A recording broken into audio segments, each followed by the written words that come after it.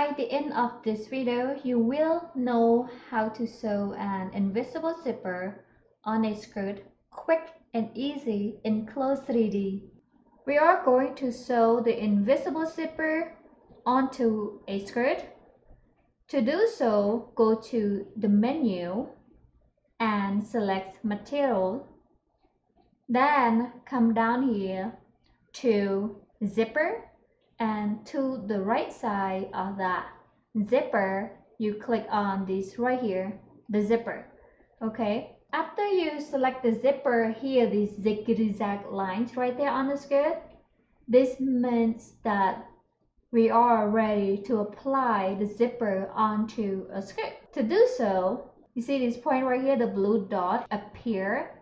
You click on it one to start your zipper point. Then come down here, double click on it to stop the zipper endpoint and we will repeat the same in the opposite side right here one click to start. Now come down here and you see how this uh, blue dot kind of stop? It because this side of the skirt how much the length that we select earlier and Clo software know that we wanted the equal side from both sides. So see that point right there? Double click to place a zipper and then wait for a little bit for the software to generate the sewing line. Okay? So after we click on the zipper, the zipper itself also generates the sewing line for us. We don't have to sew it it's just done okay after we finish sew the zipper on a basket we're gonna come to the 2d window and we're gonna finish the sewing line from the zipper endpoint to the bottom of the skirt to do so we are going to zoom in just a little bit use the mouse wheel to scroll forward to zoom in and if you want to zoom out just scroll that mouse wheel backward to zoom out, okay? To sew this area, we are going to use free sewing tool. To select the free sewing tool, you come over here and then hover over the tool and click on it to select the tool. Then you come down here.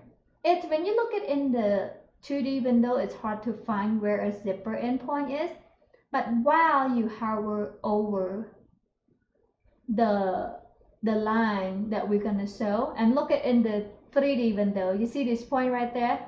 It snapped right into the zipper endpoint so we're gonna click one to start a sewing. And we're gonna just hover that mouse pointer. And then come down here click once again. Then come back here. And we're gonna click. And then hover the mouse you see this sewing line start to appear. We come down here click again and we're gonna wait for a little bit for the software to generate the sewing line. So why I'm saying that the software itself gonna take a little bit of time to generate it. If we not wait for it and we start to click on everywhere it's gonna mess it up okay? And of course we can just control Z to undo anything you want. The same as like Illustrator or Photoshop so now you see, looking to the left hand side here in the 3D windows, we see this sewing line is completed for us and we are going to simulate. To simulate the skirt, we are going up here to this gray arrow, but when we hover the mouse over, it's turned blue. And we're gonna click that or you hit the spacebar on your keyboard to simulate, okay? So, wow. After we simulate, the zipper looks terrible. Of course, we're gonna fix it. So, there are three things wrong with a zippers. So, the first thing is obvious that the zipper pull is a standard zipper rather than invisible zipper. Two, the zipper itself is too big. Lastly, we want to change the color of a zipper to match the skirt color, which is kind of dark red. Okay, To do so, we are going to select the zipper pull. To select the zipper pull, come back up here. You see this uh, arrow still blue? That means the simulation option is still active. So we're going to select that to stop. And now we want this tool right here. It's select slash move tool. So we're gonna click on that tool. So if you guys somehow don't see that select or slash move tool, you just click on this arrow here. You see right here? When you click on the arrow, the hand tool appear and we don't want a hand tool appear because we want to select and move tool so we just go back and click on the arrow again and then this tool appear to select the tool click on it. And while this select slash move tool active you come over here and click on that zipper pull. Just like that. And you see the yellow area? That means a zipper pull is selected. After it is selected, you come down here to the property editor. Every time we select any object, it will appear all the data, all the information about the object in this uh, property editor panels, okay? Now looks down here. Below here, we see the slider. Uh, I think the slider is good. We don't need to change the slider, but if you want to do, just click on this arrow and you will see a bunch of slider. But in this case, we don't have to change the slider. We only need to change this puller. Again, go to that gray arrow, click on it, and look at that, guys. We have many options for our invisible zipper puller. So I'm gonna pick the one like the most noticeable. This one, I think I like it best. And to select that pull, simply click on it. So now look at a zipper pull. Isn't that cute? Since we are already here, I'm gonna scroll down here to change the color of the zipper pull as well because we want it to match our skirt. It saves us one step if we do it right now, so why not do it? So come down here and then click on this color swatch.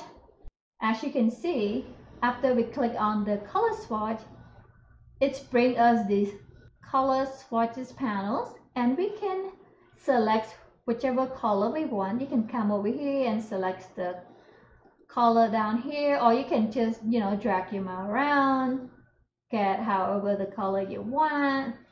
So I think I kind of like this uh, zipper pull head color and be sure to click OK. Okay. And not red enough. Let's go back to change a little bit redder. What about this red? And that's for now. I think that's good because when after we let's just hit the simulation button or spacebar to simulate. Okay, so that's a zipper pull. Next, we're gonna change the size of a zipper. As you know, the invisible zipper means that we can't see the zipper, okay? So this zipper is too big. So we're gonna change the zipper to small, small size, like we barely can see it. And I came up with the number 0.1, okay? To change the zipper, again, just like we did with the zipper pull, we're gonna go to select slash move tool. And then under that hand there, we're gonna click, you see this uh, blue arrow still active? We're gonna click on it again to stop. And now we're gonna come here and click on select slash move tool and come down here, we're gonna go to the zipper uh, and we're gonna select on the zipper. See, when you click on the zipper now, the zipper is selected. Why do I know that? Because it's a highlighted appear on the zipper itself. Now we're gonna come to the property editor and we're gonna change this the zipper width. Right now is 0.5 and we want to change it to 0.1. Hit enter. So after we change the width to 0.1, now look at a zipper it gets smaller and we can see these stitches through but don't worry after we hit the simulation key we will see the effects on the zipper itself okay so let's do that.